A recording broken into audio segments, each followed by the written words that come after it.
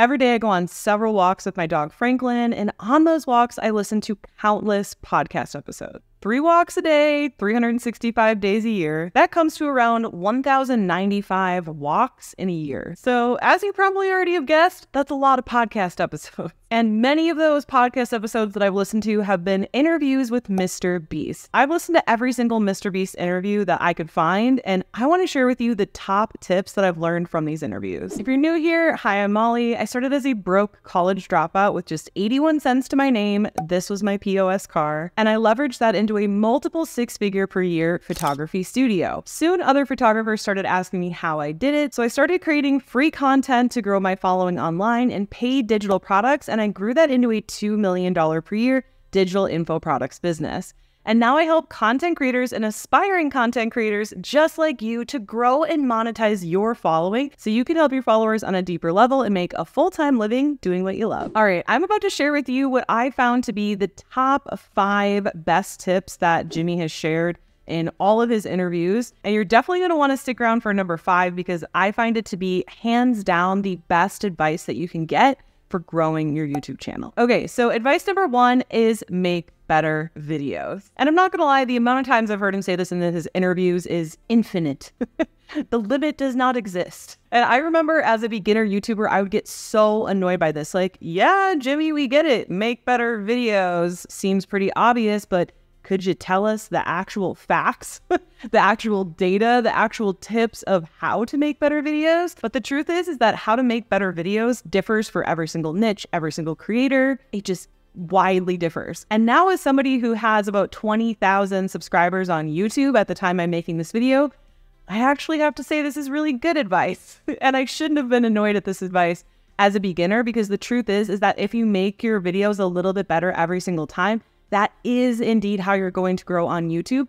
And how you make them better every single time, like I said, is not only going to depend on your niche, who you are as a creator, the types of videos you create, but also different people are good at different things. So maybe you're really good with the camera tech and the lighting and the audio and all that stuff. So you need to make the research and the scripting and the actual talking on camera better. Or maybe you're really good at those things and you need to make the camera and the lighting and the audio better. It just really depends on the creator. But I took this advice to heart and I did not batch a ton of videos up front for the first like couple years being a YouTuber because I took this advice, I made a video, put it out, looked at the analytics, and then decided how to make that next video better. For example, if you batch six months of videos at once, you're only going to learn every six months. But if you create one video and learn from it, create the next video, you're going to learn every single video. So this is solid advice. And if you want my exact YouTube script template, you can find that in the link in the description below this video completely for free. Okay, the second biggest tip that I see Jimmy share a lot in his interviews is replace the word algorithm with people. because a lot of times creators will say things like, the algorithm hates me. And Jimmy's like, no, it just replace algorithm with people. It doesn't mean the algorithm hates you. It means people didn't like your video. And this is so true a lot of times doesn't even matter what social media platform are on people like to blame the social platform or the algorithm. But the truth is is that the youtube algorithm simply just shows your video to more people if the people who saw it liked it.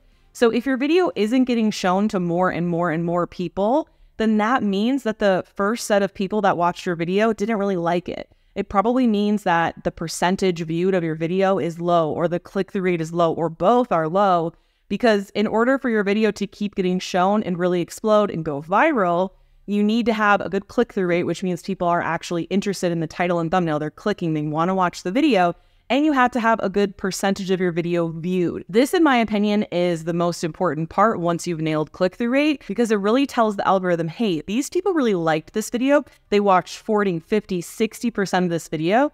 And that's going to tell the algorithm that people like this video, so it will show it to more people. So the bottom line is that the algorithm doesn't decide really anything. It just takes the feedback from the actual viewers. How much did they view the video? What's the click through rate? Did they comment? Did they like? These kinds of things to decide, hey, should we show this video to more people? It's actually quite simple. So make better videos, keep your people, viewers, ideal clients in mind when you're creating those videos because if they like the videos, then the algorithm is going to show it to more people. The third tip, which I would say is my favorite, but number five is actually still my favorite, But the third tip is to create and publish 100 videos because your first 100 videos are going to suck. And I remember hearing this as a new creator being like, what do you mean A 100 videos? Like, that's so many videos. That's so much time, so much money, you know, if you're paying for an editor, things like that.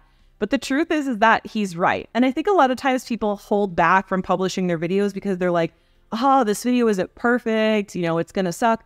And the truth is, is no matter how hard you try, it is going to suck a year from now. You're going to look back and be like, oh my God, that video was bad. Even the videos I create today, every single video, I look back a year from now going, oh, that's bad. And that's actually a good thing because it means that you're improving as a creator. And so instead of getting hung up on thinking like, oh, I can't publish this video because it's not perfect, it's not perfect, I think that you should look at it as just get your 100 videos done. Don't try to be perfect, just get better and better little by little with each video. Really focus on getting those 100 videos done. And by the time that you're even 50 videos in, you'll probably be like, wow, I've grown so much as a creator. You probably won't even remember that you're trying to do this piece of advice. But ultimately, as a creator, you have to throw perfectionism out the window because ultimately you are going to look back someday and no matter how great your video was, no matter how much effort you put in, and you're going to think that that video sucks. And again, that's okay. It means you're growing and that's actually a good thing. So get those 100 videos done, publish those dang videos, stop letting fear hold you back. Worst case scenario, you don't get that many views. Who cares? You grow, you make better videos, and then your views tend to go up. So you do need to take action and just start making and publishing videos. And if you're wondering how you can make money before you're monetized on YouTube, the best way that I've done this is with passive digital products. And I have a brand new free training to show you step by step on exactly how to do this. It's the first link in the description below this video and it's completely for free. Okay, so tip number four definitely ties into number three, and it is be willing to fail.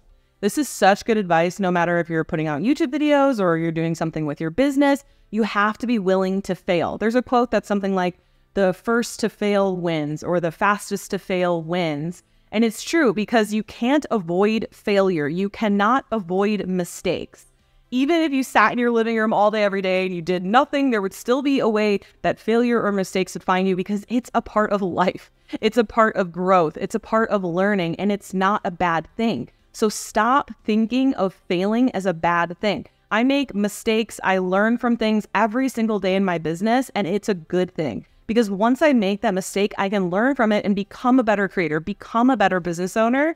And that's what you need to be doing with your videos. So just get the videos done, publish the videos, know that, you know, you're going to grow with each video, you're going to make mistakes. And also saying you're going to fail is really harsh. You're not going to fail unless you just flat out quit making YouTube videos. So I like to look at it as learning lessons or learning from your mistakes. So again, stop letting that fear hold you back. Take action. Know that it's okay to make mistakes because you're going to learn from those mistakes and get better the faster you take action and the faster you're willing to make those mistakes so that you can learn from them. Okay, the fifth and final tip is to get better with each video. And I feel like I've touched on this because every single tip leads into this, which is why it's my absolute favorite tip. But you might be wondering, like I was when I heard this advice in an interview, how can I get better with each video? Again, there are several components to making a YouTube video. You have your camera, you have your lens, you have your lighting, you have your microphone, you have your scripting, you have your research, you have your pacing, your speaking, all different things. You have your editing, your graphics, your description. Like there is literally so many different things. And so don't think you have to better every single one of those with each video. Just pick one thing to improve with each video.